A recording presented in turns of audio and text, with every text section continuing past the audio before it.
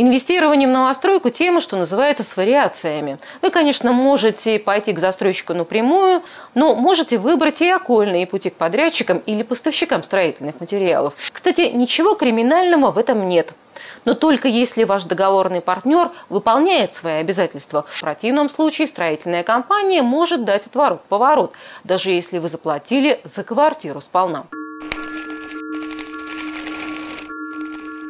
Мне мебель подарили подруга. Думаю, временно-временно. А теперь вот думаю, что делать. Все заставлено, потому что рассчитывали уже на к той квартире приобретали. Это маленькая заставленная мебелью квартирка для Ирины Захаровны и ее дочери напоминание несбывшихся надежд. Осенью 2009-го они были связаны с покупкой однежки в новостройке на Бориса Богаткова. При этом собранные за 7 лет миллион стоил немалой крови. Работали мы с 2001 года в школе уборщица в одной школе, во второй. На двух ставках я, на двух ставках дочка работала. А выходные праздничные дни, ну, на сезон, так сказать, мы работали в Зеленхозе. Убирали набережную и аллею на восходе. Роковой для Ирины Сотниковой в свое время стала встреча со Светланой Мишиной, финансовым директором компании «Восход Трейд», обещавшей содействовать заключению основного договора с застройщиком. Этот документ родился на божий свет уже через несколько дней и даже прошел через горнило госрегистрации. Но 9 550 тысяч осели на счетах посредника. Восход трейда. Я спросила, где третья сторона? Я же плачу деньги третьей стороне. Застройщик не ответил. У нас стандартная форма договора одна на все случаи жизни. Директор строительной компании Егор Ватиков сегодня не отрицает факта былой договоренности с Восход трейдом. В 2009 году, в феврале месяце, мы заключили договор поставки материала с компанией Восход трейд. То есть там кирпича, железобетона. Она, значит, взяла на себя шесть квартир. Но из шести квартир восход трейду удалось отработать только четыре. После этого строительная компания охладела к партнеру. Цены стали завышены за материал, нам это стало неинтересно. Соответственно, две квартиры подвисли. Но в то время, я так понимаю, по ним уже часть платежей прошла, да? Да, по одной квартире прошло, по-моему, 100 тысяч, по другой 900. Еще несколько раз сроки оплаты договора с Ириной Захаровной продлялись. Но эти отсрочки не решили главного. Финансовых расчетов по квартире так и не произошло. В итоге договор был расторгнут в одностороннем порядке. Уже более полугода Ирина Сотникова вооружена и решением суда в свою пользу. И хотя прокурор требовал за защиту пенсионерки 2 миллиона с поправкой на рыночную стоимость, а суд остановился на тех же 950 тысячах, и эти деньги взыскать с восход трейда не представляется возможным. Организация деятельности не ведет, официальное имущество за ней не зарегистрировано,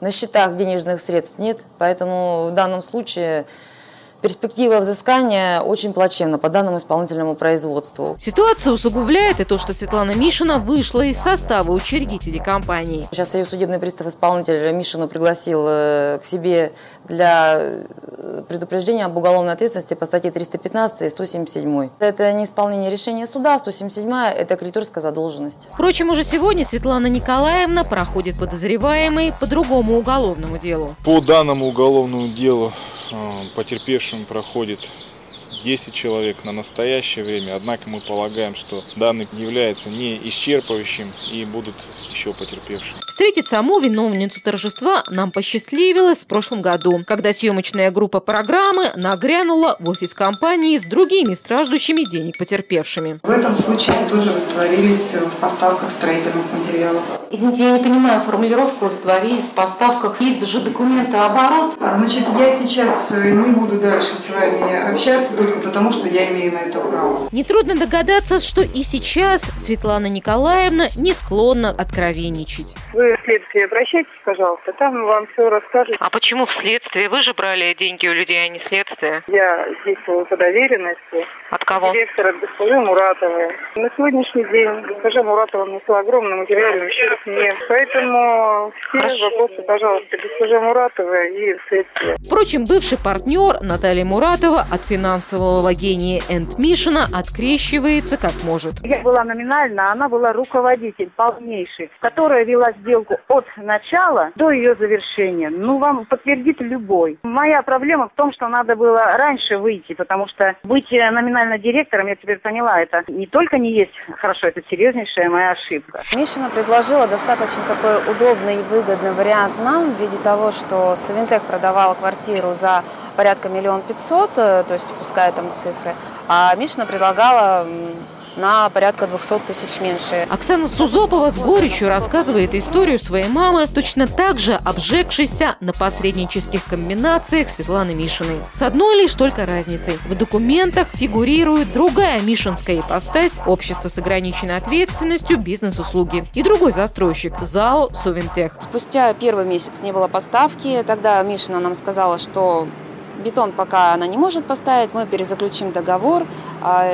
И было у нас создано дополнительное соглашение номер один. Далее это все продолжалось, то есть номер два, номер три, и так в течение энного промежутка времени. От скандально известной компании в Савинтехе сегодня тщательно дистанцируются. На момент прихода Светланы Николаевны в офис я вообще не знала, что она в «Восходе» работает. Я ее никогда не знала, никогда не видела. Был подписан договор долевого участия, и готовился договор поставок э, на бетон. Дело осложняется еще и тем, что за сделку должна была рассчитаться поставкой бетона другая компания. Сегодня, кстати, банкрот. Все предложения, которые поступали в последующем от Светланы Николаевны, дабы закрыть этот договор долевого участия, они были неприемлемы. Или по очень высокой цене бетона, или же по организациям, которые мы заранее знали, что предоставят некачественный бетон. Бартерные сделки – посткризисный вариант для многих российских застройщиков, которые не могли платить партнерам живые деньги. Не сторонятся таких схем и агентства недвижимости. Впрочем, с одной существенной поправкой. Никакие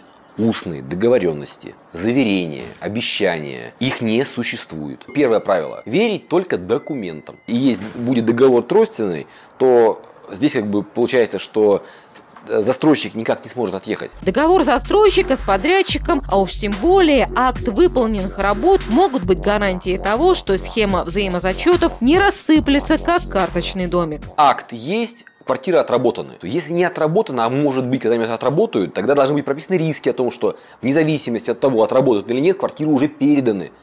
И это риски не клиента. Сегодня более десятка пострадавших от мутных схем бизнес-услуг и восход трейда уповают только на расследование уголовного дела, в рамках которого может быть наконец-то предъявлено обвинение Светлане Мишиной.